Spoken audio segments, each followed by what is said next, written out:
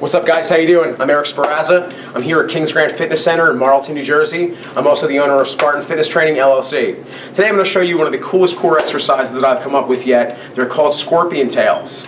What you're going to need for scorpion tails is to find a gym that has a captain's chair. What a captain's chair is, is this contraption right here. All right, a way for you to suspend yourself above the ground so you can do uh, leg lifts and knee tucks and things like that. And what scorpion tails are is essentially a knee tuck, but we're going to add a small variation to them. So, first things first, you find yourself a captain's chair, okay? And what you're going to do is, as opposed to resting your elbows in a normal position in the captain's chair like this, you're going to do a position like you'd be doing dips. So you elevate your body this way, okay?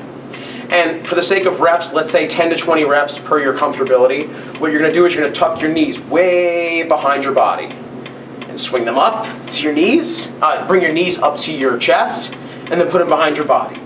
And then up to your chest and then behind your body. Just like this. In reps of 10 to 20 per set. That are scorpion tails. Great exercise, great core work. You have the benefit of getting a shoulder workout in there, your deltoids, your traps, your chest. It's all in play, but more importantly, it's your core that's whipping those legs up to your chest and then back behind your body.